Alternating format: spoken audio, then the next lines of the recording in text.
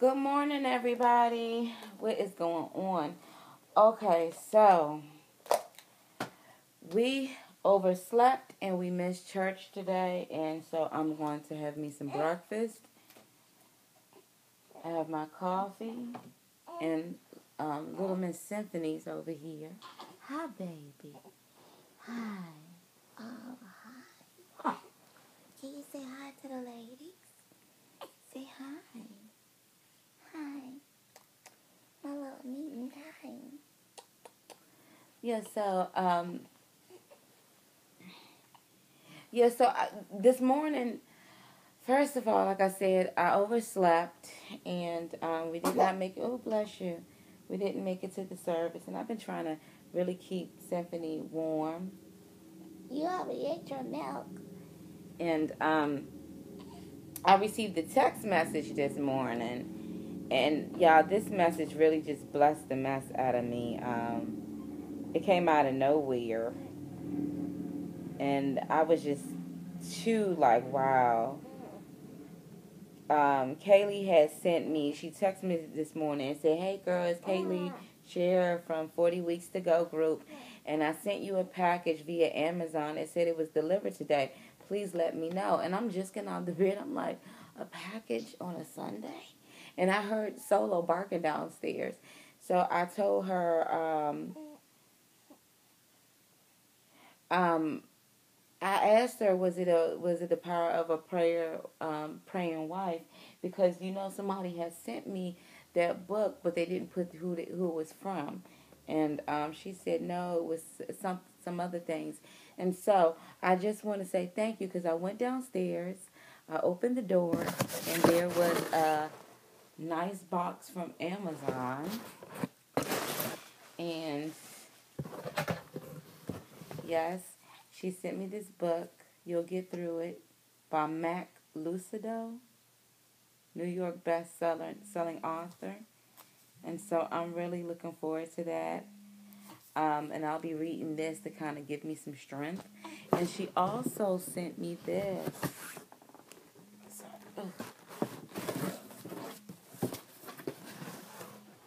Amazon delivers on Sundays. Well, UPS or whatever it is.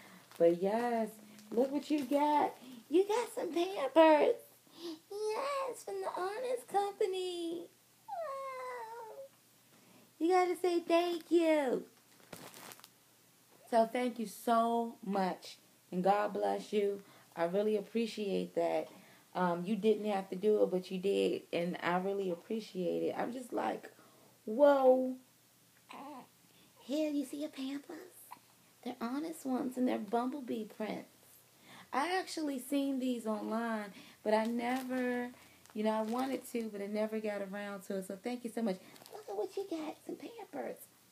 Um, Iowa, Iowa has sent her a box, of, a huge box of Pampers not too long ago, and I'm telling you, this is a blessing. And you also gave me some good pointers about where to go, what to do, and I believe you're a doula. So I just want to say thank you so much. Say thank you. Say thank you.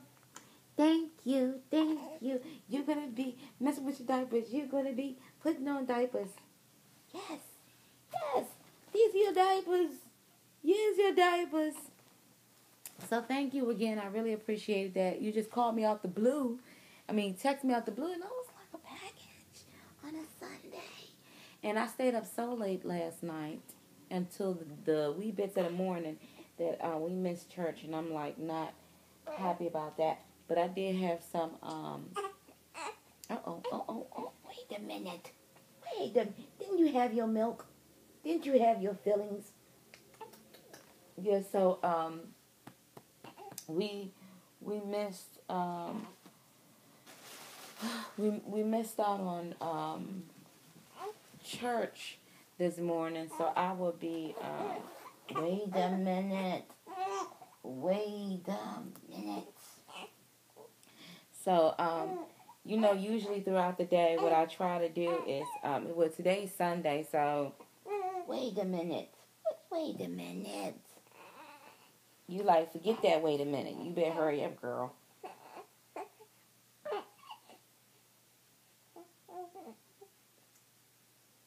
I'm so glad she's feeling good today because um, I really thought yesterday with her little coughing and stuff, I said, no, we, we can't catch no colds. That's another thing, y'all. Um, also, I woke up with a, I'm not going to say with a heavy heart, but I had a dream last night. And the dream was is that I think we were in some room and I didn't see Matt and he had came and got some of his clothes and some of his guitars and stuff and I just didn't see him at all. I don't know if that meant anything because recently he came over with his parents while we were dealing with her dedication and he picked up some of his clothes and his um, guitar and stuff like that. And I haven't heard from him. So I don't know if the dream is reverting back to what he has done or what is going to happen.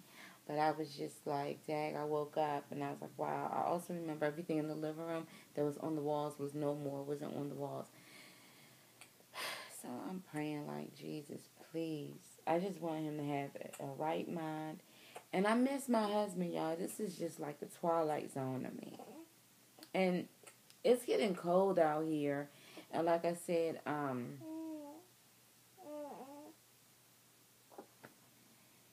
getting cold out here. And so I don't know what's going to go down and how it's going to go down and what God is going to do. So um, I'm still going to tell y'all part, what part five I'm on.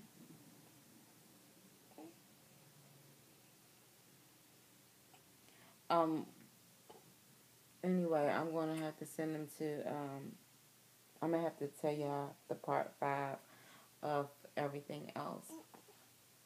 I still just cannot believe that.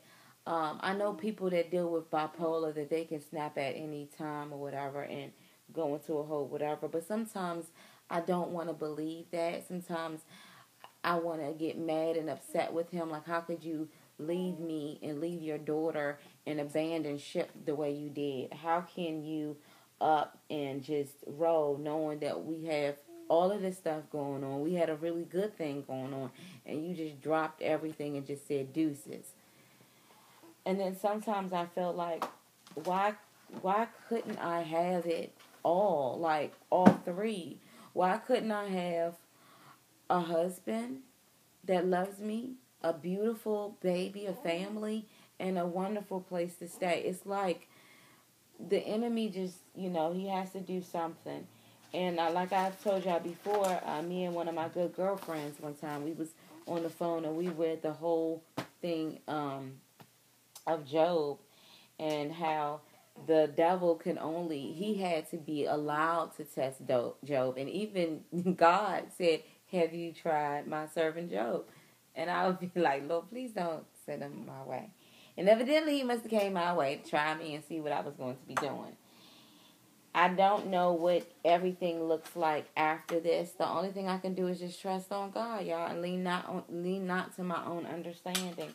I I I understand that. Lean not to my own understanding. Um, it's just that so far,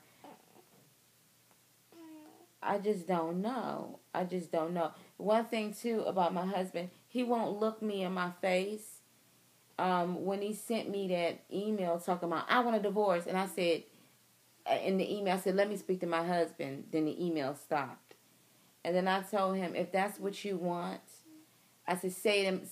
call me on the phone and say it in my ear. Matter of fact, say it in my face. I want you. I want you. I want you to say it in my ear or say it in my face he he won't he won't do it. I don't know what it is. I don't know what's what's going on, y'all. It's so strange.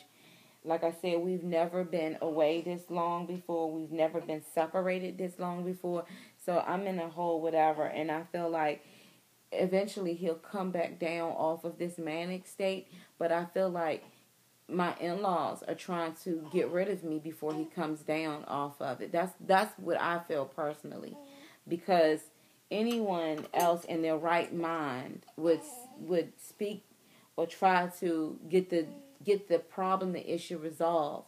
But instead, it's like they're trying to get rid of me, and I just think that that's just so wrong.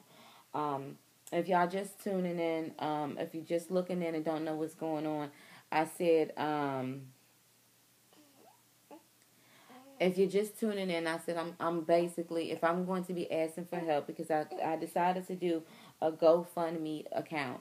I don't know if I'll I don't know what would be made out of it. A lot of you women suggested for me to do that. I'm praying that God is going to allow this this entire household um, and give me um, and guide me how to go into something with um, me, Symphony, Solo, my cats, and y'all can't wait when the Lord just prepares a table before my enemies.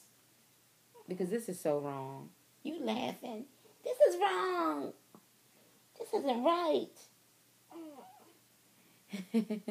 She's smiling. Say, I'm not. Uh oh. Uh oh. Wait a minute. Wait a minute. Oh. She's smiling like, Mommy, I don't know what you're talking about. This milk is good. Say, this is the day that the Lord has made. I will rejoice and be glad in it. So, um, yeah, I just feel like that. This is just so wrong. And then, you know, like I said, you know, I've decided to go ahead and turn the heat up a notch. I'm in a house that has working heat. And I just feel like, you know, it that's not fair to Symphony that she got to be bundled up in a whole bunch of clothes and wearing hats and stuff while her dad is on the other side in La La World and his mama feeding him breakfast, lunch, and dinner. And he he comfortable and we try we over here worrying about what's gonna happen. And like I said, it's not like my husband has ever walked out. And you know, I just can't wait to hear those words. Hey, babe. You know, or you know, I just can't. You know, I just really feel like when he comes to, he'll see what's going on.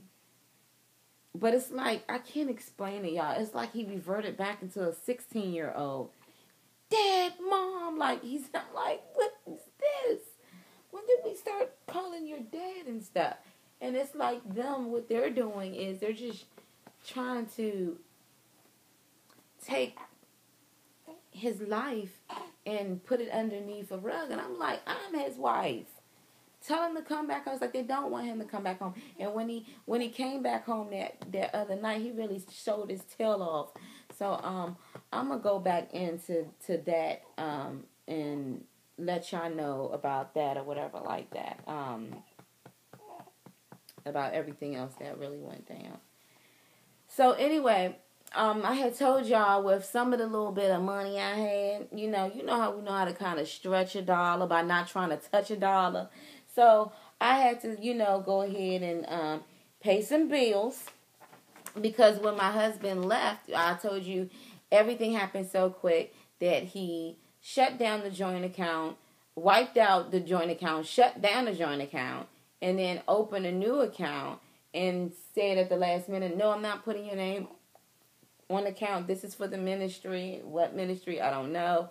And then after all of that, like I was telling you, he sends me an email talking about um yeah, um, I'm going to pay all of the bills up until October and we can review things from there. I honestly think now, looking back at everything, that my father in law was the one who orchestrated that email.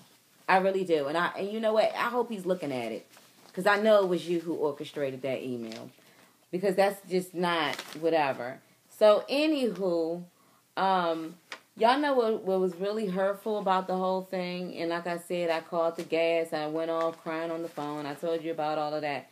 But what really hurt the most was to see my bank account working with a little hundred here and there, and to see my husband's bank account working with like fourteen, fifteen hundred dollars in there, and our money, and I can't even get to it because it's in his name. So I'm just like, this is just so unfair. It's so unfair. I don't know if my husband has influences or who he's with or whatever, but it's just like you you got to be kidding me. Anyway, um let me upload this video and I'm going to come back and let you guys know about the part 5 or whatever like that. Um Is it part 5? And I'm going to continue on telling y'all the remainder of why I believe the emails are coming from my father-in-law.